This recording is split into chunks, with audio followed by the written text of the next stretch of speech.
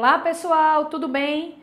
Olha eu de novo aqui no Educa PE, Patrícia Dantas. Vou explicar para o oitavo ano uma revisão, uma aula sobre a Lua e as eclipses, ok? Vamos lá, vamos rever esse conteúdo maravilhoso que a professora de ciências já deve ter passado para vocês. E Dantas vai dar algumas dicas de trechos interessantes sobre esse tema. Beleza? Vamos lá. Vejam só a imagem. Características gerais da Lua, Dantas. E aí, lembra quando a professora de ciências falou na sala que a Lua é rochosa? Não esqueçam, ela é rochosa. Segunda característica da Lua, Dantas, é o único satélite natural do nosso planeta, tá certo? Se é o único, tem que aprender, tem que respeitar. Terceira característica da Lua, ela não possui luz própria. Pelo amor de Deus, não pode mais errar. Três características: primeiro, rochosa. Segundo, é o único satélite do nosso planetinha Terra. Então, se é único, vamos ter que conhecer bem. E terceira característica, não possui luz própria, ok? Vamos lá. Próximo, a gente vê a imagem. E Danta está aqui para falar sobre os movimentos da Lua. A Lua, ela realiza movimento. Como nosso planeta Terra. E a Lua, ela vai realizar quantos movimentos, Dantas? Três. Olha a imagem. O primeiro movimento, veja se vocês lembram, é um movimento chamado de translação. Translado. Um movimento que vai ser longo. Translação. Significa o que nesse movimento? Bora lá.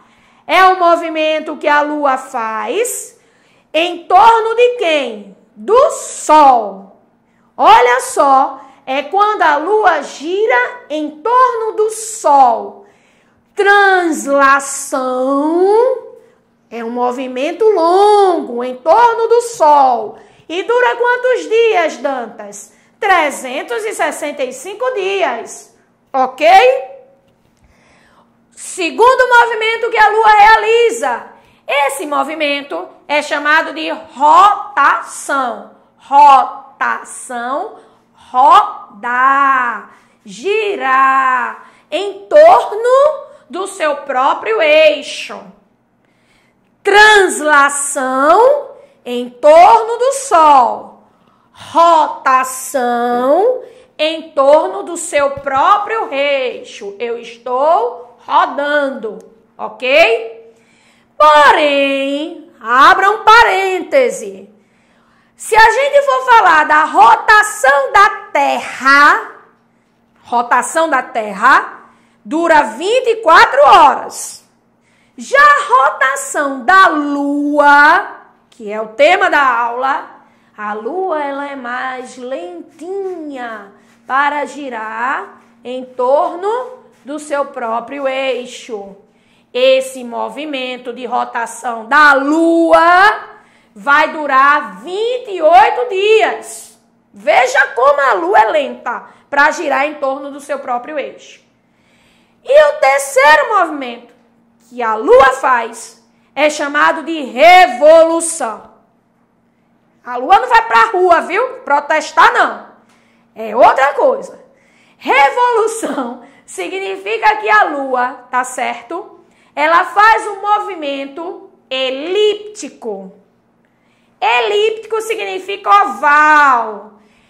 Em torno de quem, Dantas, agora? Ela faz um movimento elíptico ao redor da Terra, porque é o satélite natural da Terra.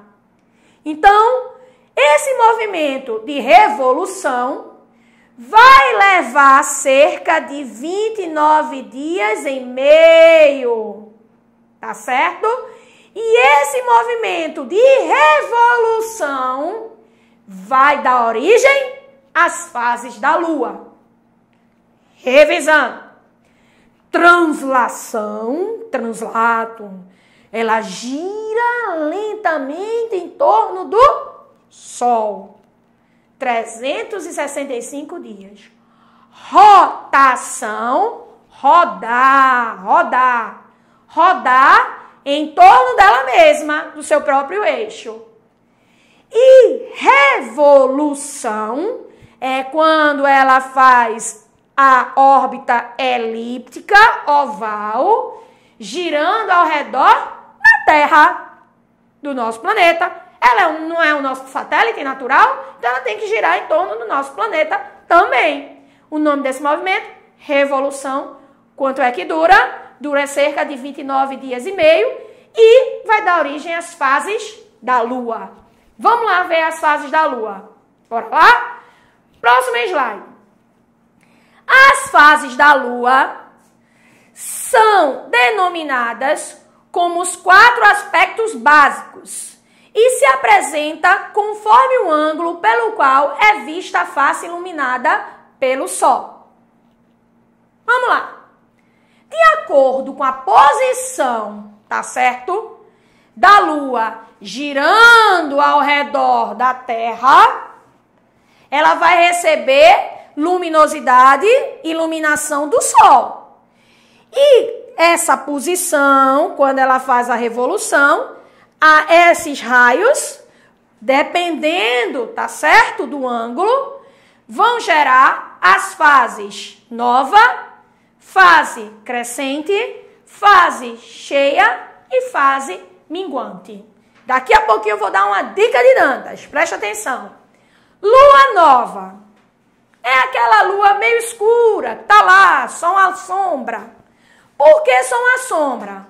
Porque eu tenho aqui o sol, certo? Sol. Eu tenho aqui a lua, ok? E meu rosto seria a terra. Minha cabeça seria a terra. A lua nova é o seguinte: o sol está iluminando uma face da lua. Sendo que eu só estou vendo a face direcionada para o meu rosto. Essa face, quando está direcionada para o meu rosto, ela não está recebendo a luminosidade do sol. Então ela fica apagada. Que fase é essa? Fase lua nova. Quando o sol, olha só o slide, se encontra do lado oposto, como eu expliquei com as minhas mãos e rosto. E, consequentemente, a face iluminada da Lua está do lado oposto ao do observador na Terra. Lua nova. Ok? Próxima imagem. Aí eu tenho as fases agora que dá para ver. Dá para ver raios luminosos. Luminosos do Sol, porque a Lua não tem luz própria. Aí eu tenho a Lua crescente, olha só o slide, quando se vê apenas a metade da face iluminada, só a metade. Lembrando, olha a dica de Dantas, quando você olhar para a Lua e você enxergar um C, C, tá lá um C, direitinho, C, C de casa, é porque a fase é crescente. Beleza? Terceira fase é a fase de lua cheia.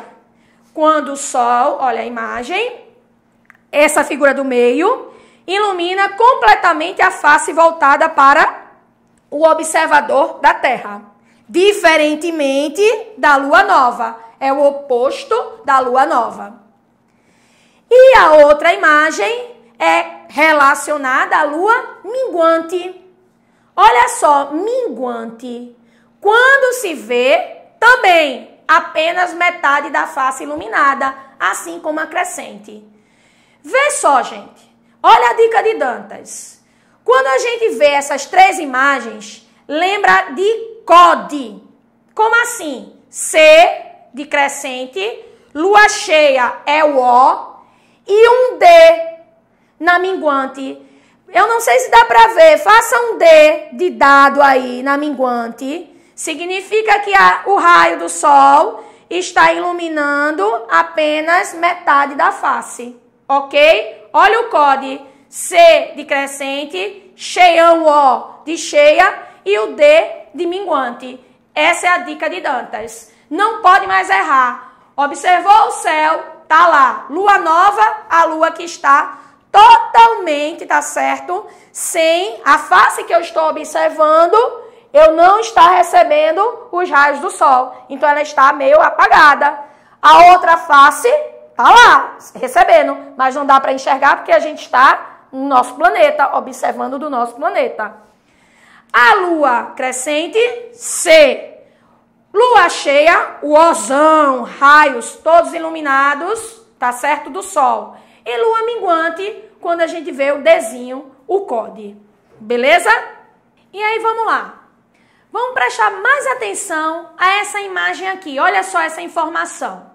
As fases da lua são vistas de formas diferentes entre o hemisfério sul e o norte. São vistas, ok? Claro, porque o ângulo do observador pode estar no hemisfério sul ou hemisfério norte. Então os ângulos são diferentes. Porém, presta bem atenção, são as mesmas fases. Se tá lua nova no hemisfério norte, lua nova no hemisfério sul. A diferença é a imagem, como eu vou ver. Por quê? porque o ângulo do observador vai ser diferente. E aí eu tenho, olha, lua nova, veja a imagem. E o COD C, lua crescente O, lua cheia. Olha o D de Dantas, que Dantas falou na lua minguante. Não pode mais errar, tá certo?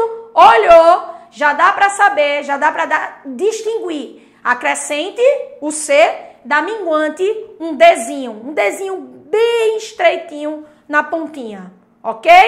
Vamos prosseguir. Aí Dantas vai falar agora sobre as eclipses, ou melhor, os eclipses. Olha só a imagem. Olha a definição que Dantas gosta.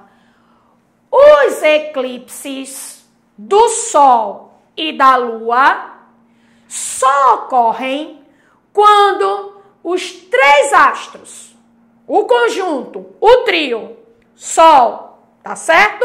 Terra e Lua, ficam perfeitamente alinhados. Uma linha, ok? Que só acontecem ocasionalmente, pois as órbitas da Terra e da Lua não são descritas no mesmo plano. Eu já falei para vocês que as órbitas não estão no mesmo plano, elas são elípticas, beleza? Olha a imagem aí. Eu tenho o Sol, eu tenho a Terra e eu tenho a Lua. Veja o alinhamento. Se a gente fosse fazer uma numa régua, tá certo? Veja como eles estão alinhados. Neste caso, está ocorrendo um eclipse. Quando você olha essa imagem, você tem que saber se é eclipse que está ocorrendo é um eclipse solar ou se a imagem está aparecendo um eclipse lunar. Por isso que Dante está fazendo essa revisão hoje, ok? Vamos lá. Eclipse solar. Lembra? Eclipse escondido. Quem está escondido? O Sol. Não te esqueça disso. Vamos à imagem. É quando a Lua está entre a Terra e o Sol. Podendo acontecer que as zonas de sombra ou penumbra da Lua se projetem numa parte da Terra. Vê só. Eclipse solar é quando a Lua fica na frente do Sol, alinhado com a Terra. Não esquece da Terra. E esse eclipse do Sol, a Lua está lá na frente do Sol, Pode ser total, parcial ou anelar. Na minha opinião, na minha modesta opinião, eu acho a eclipse solar anelar a mais bonita. Olha só o exemplo de eclipse aí na imagem anelar. Ok? Vamos lá. Tipos de eclipse solar. Presta bem atenção. Vamos lá. Primeiro, eclipse solar total. Total, o nome já está dizendo. É quando uma região da Terra está em cone de sombra da Lua, ou seja, a Lua, tá certo? Está encobrindo o Sol totalmente, fazendo uma sombra. Eclipse total do Sol. Escureceu, ou melhor, escondeu o Sol. Eclipse parcial. É quando uma região da Terra está na zona de penumbra. Neste caso, presta bem atenção, a Lua, ela não consegue, tá certo? Esconder totalmente o Sol. Só esconde uma parte. Então, se a Lua só esconde uma parte do Sol, significa que a eclipse solar é parcial. E eu tenho aquela eclipse que eu chamei de anelar. É quando? Bora lá a imagem. É quando a lua não tapa o sol, ficando um anel ao redor. Esse efeito ocorre porque a Terra está mais distante da Lua do que no eclipse total. Tá certo? Então, vamos lá, vamos às imagens do tipo de eclipse solar. Presta bem atenção. Olha só, eclipse total, tá lá, a lua na frente do sol. O sol está escondido. Eclipse anelar, olha só a margenzinha, um anel aparecendo. E eclipse parcial, a lua não conseguiu esconder totalmente o sol. Então aí eu tenho os três tipos: eclipse total, escondeu totalmente, lua, escondeu o sol. Eclipse anelar, deixou ali ó, um anelzinho brilhoso, porque está muito distante da Terra. E eclipse parcial, quando a Lua não consegue esconder o Sol por completo. E aí eu tenho só uma mancha, uma sombra, uma penumbra. Ok? Beleza? Dúvidas? Claro que não. Agora vamos às eclipses da Lua. Eclipse da Lua. O que é um eclipse da Lua? Veja a imagem. Vai ser diferente, tá? Eclipse solar, a lua está entre o sol e a terra. Eclipse lunar é a terra que vai ficar entre o sol e a lua. Vixe Maria. Veja só. Eclipse solar, solar. A lua está entre o sol e a terra. Eclipse lunar, a terra está entre o sol e a lua. Ok? Vamos lá. Tipos de eclipse lunar. Vamos lá, vamos ver aí a imagem. Eclipse total da Lua é quando a Lua estiver no cone de sombra e deixa de ser totalmente vista. Ou seja, a Terra ficou na frente do Sol impediu que os raios do Sol chegassem até a Lua. Lua apagada, significa eclipse lunar total. Porém, existe aquela eclipse parcial. É quando a lua é encoberta pela Terra, ou seja, passa um raio de sol, tá certo? A Terra só atrapalha um pouquinho. Olha a imagem. Eclipse parcial, quando a lua estiver no cone de sombra e a outra parte na penumbra. Ok? Então, quando a Lua, a Terra, consegue impedir os raios do Sol chegarem até a Lua e iluminar esta Lua, total. Quando passa um pouquinho de raio de Sol, significa eclipse parcial. Ok? Dúvidas? Acho que não, hein? Vamos lá. Dantas trouxe algumas curiosidades. Quais são as curiosidades das eclipses, Dantas? Veja só. Primeiro, a duração máxima de um eclipse é cerca de 7 minutos, 7 minutos e meio. Então, vai ter eclipse solar. vou dar tempo e tomar banho, trocar de roupa e depois. Não, não dá, é rápido, é sete minutos. Vá logo enxergar eclipse, seja solar ou seja lunar. Segunda curiosidade: o número máximo de eclipses solares. Qual é a solar? É quando Sol, Lua e Terra. A Lua tapa o Sol. Vamos dizer assim, numa linguagem mais fácil. Então, o número máximo de eclipses solares em um ano é 5. Só podemos ter 5 eclipses solares durante um ano. É claro que isso é muito raro, certo?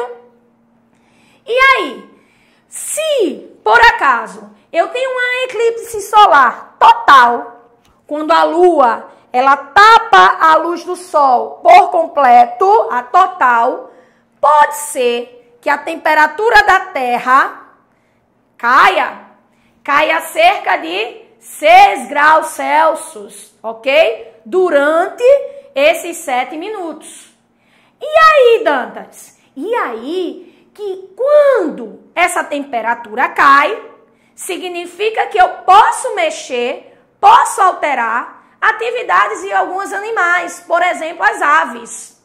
As aves, durante as eclipses, vejam a imagem, ela pode se comportar de maneira confusa. É claro. Cadê o sol? A lua está na frente. E se está na frente, demora oito minutos. Ok. E aí, a temperatura da Terra começa a esfriar. A ave diz: Meu Deus do céu, já é noite, vou dormir. Então vejam só como esses três rastros podem modificar comportamentos de animais e a Lua pode modificar também o comportamento das águas. Elas controlam as marés. Por hoje é só, galerinha. Fiquem com Deus e tenham uma boa semana. Cheiro de Dantas!